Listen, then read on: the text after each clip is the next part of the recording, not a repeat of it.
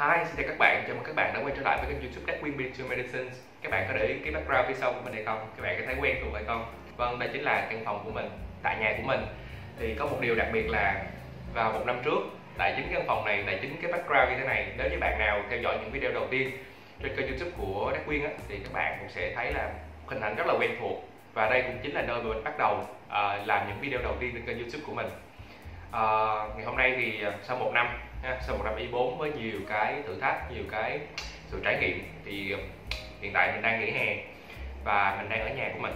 Và ngày hôm nay á à, nhân một dịp đặc biệt như thế này á, thì mình sẽ làm một cái video à, và mình nghĩ rằng à, cái video này á nó là một cái trải nghiệm mà mình đã trải qua cũng như là một cái bài học kinh nghiệm rất là giá trị à, đối với bản thân mình. Mà mình nghĩ rằng à, tại sao không tại sao mình không chia sẻ à, cái điều này đến các bạn. À, để biết đâu sau này các bạn gặp cái tình huống giống như mình á, thì các bạn cũng sẽ có nhiều cái option nhiều cái lựa chọn à, để chúng ta có được cái hướng giải quyết tốt hơn.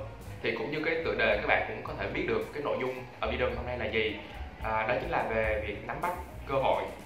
Cái này nói ra thì có vẻ rất là chung chung nhưng mà các bạn có biết không cái cơ hội á, nó đến với chúng ta trong cuộc sống của chúng ta nó rất là vô thường.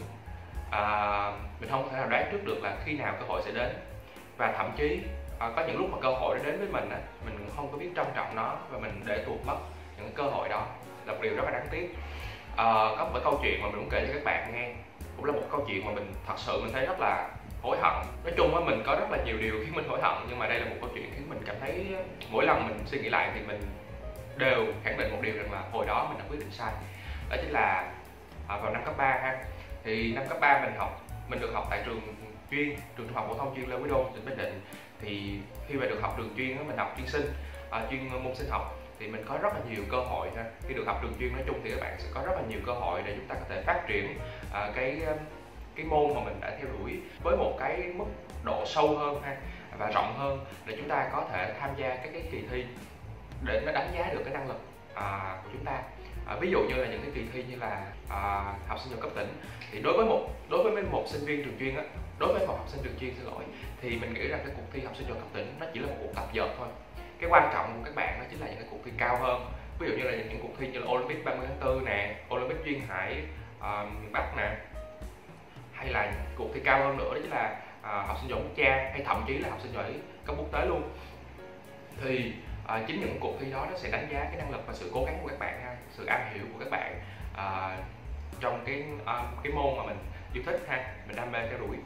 Thì hồi đó hồi đó thì năm lớp 10 thì mình cũng có theo đuổi môn sinh mình cũng có đào sâu rất là nhiều mình cũng có nghiên cứu mình học rất là nhiều. Và cái kết quả năm lớp 10 của mình à, mình cũng có tham dự một cái kỳ thi Olympic. Ờ, ở 34 thì bạn nào ở khu vực miền Nam, khu vực thành phố Hồ Chí Minh thì các bạn cũng sẽ biết cái kỳ thi Olympic 34 là thế nào. Và hồi đó mình cũng đã đạt được kết quả rất là tốt. À, nhưng mà sau đó thì mình đột đột ngột mình rẽ hướng. Tức là mình không có theo đuổi uh, môn sinh nữa. Mà mình hồi đó mình có suy nghĩ rằng thôi bây giờ mình nên dừng lại cái việc học môn sinh uh, để mình tập trung cho cái việc uh, ôn thi đại học. Tức là học môn toán hóa và môn sinh uh, để thi khối B thì mình nghĩ rằng nếu như mình cứ đâm đầu vào môn sinh đó, thì mình sẽ không có dành đủ thời gian cho các môn thi đại học và mình sẽ không đạt được kết quả cao. Thì nếu như đứng ở cái cạnh bây giờ nhìn lại thì cái quyết định đó có đúng hay sai? Thì đối với mình đó là một quyết định sai lầm. Tại vì á tại sao chúng ta không thể làm cả hai? Tại sao chúng ta không thể vừa dành thời gian nghiên cứu đào sâu cho môn sinh và vừa uh, dành thời gian cho những môn toán môn hóa? Tại vì lúc đó thì mới có năm lớp 11 thôi. Thì uh, đó chính là một cái sai lầm của mình mà mình đã rút ra được à, cái việc mà cái cơ hội được thi học sinh giỏi quốc gia môn sinh của mình đó là một cơ hội mình xem như nó là một cơ hội rất là lớn.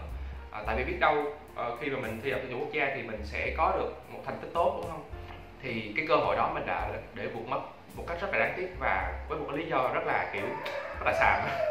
Ở bất cứ môi trường nào ở bất cứ hoàn cảnh nào thì những cơ hội đó có thể đến với chúng ta bất cứ lúc nào. Mình nghĩ rằng cái điều quan trọng là trước khi các bạn quyết định chọn một điều nào trong những điều đó thì các bạn hãy thử hãy thử suy nghĩ đến cái trường hợp là chúng ta có thể làm được tất cả những điều đó hay không? Mình lấy một ví dụ cụ thể nha. Khi mà các bạn vừa có cơ hội à, được phát triển một cái mảng mà mình yêu thích ví dụ như đối với bạn thân mình làm youtube đi. À, một cái mảng làm youtube và một cái mảng đó chính là học tập thì tại sao chúng ta không tại sao chúng ta phải lựa chọn một trong hai trong khi chúng ta có thể lựa chọn được cả hai đúng không? Các bạn à, thì à, giống như bản thân mình đi mình vừa song song làm youtube và vừa song song à, rất là nỗ lực trong cái việc học à, khi mà chúng ta có thể à, dành cái sự tâm huyết của mình cho cả hai à, và chúng ta biết cách sắp xếp thời gian hợp lý thì chúng ta có thể đạt được những cái thành công à, ở cả hai mảng. Ví dụ đối với mạng youtube thì mình cái thành công lớn nhất của mình chính là sự ủng hộ của các bạn. À, những cái tin nhắn động viên à, những cái lời khen à, thì đó chính là cái phần thưởng mà mình cái phần thưởng về mặt tinh thần đối với mình là quan trọng nhất. Đó là điều cái đó là cái điều động lực mà mình tiếp tục làm youtube. À, còn về bạn học tập thì tất nhiên à, mình cũng đạt được những cái kết quả mà nó xứng đáng với cái kỳ vọng của mình xứng đáng với những cái nỗ lực mà mình bỏ qua. À, mình bỏ mình bỏ ra ha. và cái kết quả thì mình sẽ hạn chế mình sẽ không chia sẻ ở đây nữa. À, và bạn nào biết mình bạn nào à, học chung với à, với Đắc Quyên thì cũng sẽ biết là à, những điều Đắc Quyên nói nó có ý nghĩa hay không ha. Và một cái ví dụ nữa nếu như bạn nào theo dõi cái cuộc thi sắc đẹp thì các bạn cũng để ý tức là trong cái cuộc thi Miss World vừa rồi Miss World Việt Nam vừa rồi à, cũng diễn ra tại Bình Định quê của mình luôn á. Thì um, hoa hậu Mai Phương hay hoa hậu Mai Phương có được hỏi mỗi câu trong uh, vòng chung kết đó, cái câu hỏi của Mai Phương là tạo việc làm ha tạo việc làm. Uh, và có được cơ hội cho những suất ăn cho những trẻ em. Thì Mai Phương chọn thế nào? Thì Mai Phương trả lời là Mai Phương chọn cả hai. À, tại sao chúng ta không làm tốt được cả hai đúng không? Mình hy vọng rằng đối với cái lối suy nghĩ này thì uh, khi mà khi mà các bạn trong những cái tình huống nào đó trong cuộc sống biết đâu là ngay sau khi các bạn xem video này các bạn có được nhiều cơ hội thì các bạn hãy à, cho mình nhiều cái option hơn càng nhiều lựa chọn tức là càng nhiều lợi thế đó các bạn. Ok cảm ơn các bạn đã xem video của đắc quyên đến lúc này ha. Ờ, có rất là nhiều bạn comment à, kêu là đắc quyên anh đắc quyên hãy chia sẻ à, và bạn đắc quyên hãy chia sẻ những cái à, nội dung về vấn đề này vấn đề này vấn đề này.